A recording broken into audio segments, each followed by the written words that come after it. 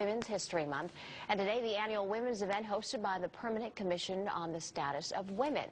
Both women and men are invited to the state capitol to hear from state legislators and special guests that will be discussing women's accomplishments here in Connecticut. They'll also honor two high school students who won the essay contest for the Young Women's Leadership Program. It all begins at 9 o'clock and lasts at noon. Everyone is asked to wear red to show your support.